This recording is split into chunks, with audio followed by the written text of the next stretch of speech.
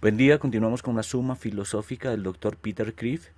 Vamos en el artículo 8, o cuestión 8 también, titulada Si los argumentos deductivos, por ejemplo los silogismos, realmente prueban algo. Bueno, esto es para la miniatura. Objeciones por las que parece que no. Objeción 1. Como el antiguo escéptico griego, todo silogismo depende de sus premisas, que asume en lugar de probar. Para estar seguro de la conclusión del silogismo, estas premisas deben ser probadas por otros silogismos, cuyas premisas a su vez dependen de otros silogismos y otras premisas, etc. Ad infinitum, de modo que nunca se prueba nada con certeza. Objeción 2. Como David Hume implícitamente y John Stuart Mill explícitamente señalaron, un silogismo no puede entregar el nuevo conocimiento que pretende entregar en su conclusión, ya sea para la conclusión, repite con diferentes palabras lo que ya se ha dicho en las premisas, en cuyo caso no hay un nuevo conocimiento, solo una nueva palabra. Y el silogismo es simplemente una tautología compleja, o se suma al conocimiento que ya está en las premisas, en cuyo caso se sucede la falacia de non sequitur, porque hay más en la conclusión de lo que justifican las premisas. Así que todo silogismo es una tautología o un non sequitur. Todos los hombres son mortales y Sócrates es un hombre, por lo tanto Sócrates es mortal. Parece probar que Sócrates es mortal, pero no es así, porque nunca podríamos saber que todos los hombres son mortales a menos que ya sepamos que Sócrates es mortal. Así que la conclusión que parece seguir o venir después de las premisas realmente debe preceder o venir antes de ellas. Objeción 3. Las personas no aprenden de los silogismos, ni son convencidos de cambiar de opinión por ellos, sino por otros factores, especialmente la experiencia, la intuición y la emoción. Por lo tanto, los silogismos son inútiles, o son útiles más bien, solo para mostrar las razones que uno ya tiene, no para cambiar las mentes de los lectores. Pero la educación implica cambiar la mentalidad de los demás, es decir, las mentes de los estudiantes, incluida la suya propia cuando es autodidacta. Por lo tanto, son inútiles para la educación. Por el contrario, todos los grandes filósofos, incluidos aquellos como Hume, que quería persuadirnos de la inutilidad de las razones deductivas y especialmente los silogismos, han utilizado el razonamiento deductivo, especialmente los silogismos, para persuadirnos. Respondo que razonar significa moverse mentalmente del juicio que algunas cosas son verdaderas, las premisas, al juicio de que otra cosa es verdadera, la conclusión. Y esto se hace de dos maneras. Primera, inductivamente, cuando la conclusión se sigue solo con probabilidad, usualmente aliado porque el razonamiento procede de premisas particulares a una conclusión más universal o general.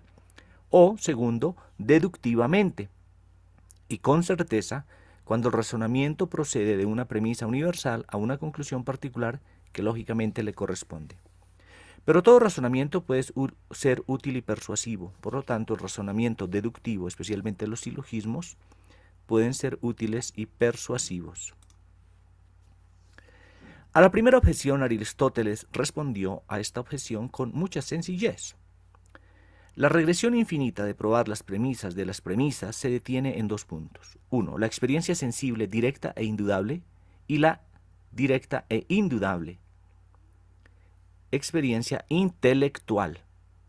Por así decirlo, lógicamente autoevidente, mella primeros principios tales como hace el bien, no el mal, en la razón práctica y las leyes de identidad, no contradicción y tercero, excluido. O P es verdadera o no es verdadera en el razonamiento teórico.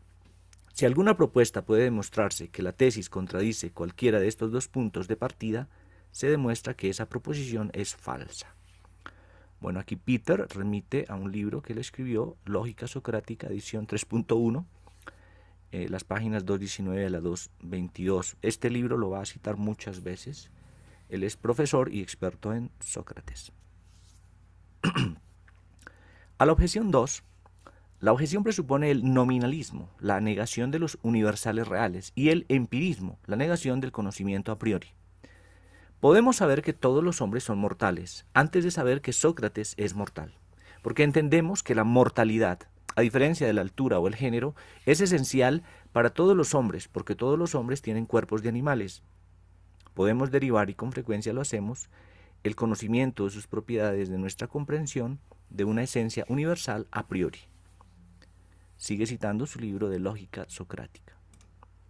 La objeción nominalista y empirista a la deducción es tan fatal a la ciencia como lo es a la filosofía, porque la ciencia también se basa en la deducción, en predecir cuáles serán las consecuencias observadas de la verdad de una hipótesis, debe ser antes de observar la presencia o ausencia de estas consecuencias. De hecho, todas las aplicaciones de las matemáticas a la naturaleza son deductivas y predictivas. Solo si 2 más 2 igual a 4 universalmente, puedo estar seguro de que dos planetas más dos planetas igual a cuatro planetas, mañana y también este día. A la tercera objeción, esta misma objeción se responde por sí misma, porque busca cambiar la mente del defensor de los silogismos, por un silogismo. Uno puede conocer ambas premisas y no ponerlas juntas en su mente hasta que alguien haga esto en un silogismo. Por ejemplo, uno puede saber, primero, el principio general de que los animales dan a luz son mamíferos y también, segundo, el hecho particular de que las ballenas dan a luz vivas y sin embargo, tercero, no se dan cuenta de que las ballenas son mamíferos, pero creen que las ballenas son peces. Un importante ejemplo contemporáneo de este principio es el siguiente. Según las encuestas, cada una de las siguientes proposiciones es creída por aproximadamente dos tercios de los estadounidenses. Primera, que un niño humano no nato es un ser humano inocente. Segunda, que siempre es moralmente incorrecto matar deliberadamente a un ser humano inocente. Y tercera, que el aborto, que es un asesinato deliberado de un niño, ser humano no nacido, no siempre es moralmente incorrecto. Un silogismo puede revelar nuevamente a alguien la inconsistencia y la imposibilidad lógica de todas estas creencias siendo verdaderas al mismo tiempo. Para el siguiente artículo, si las palabras significan cosas reales.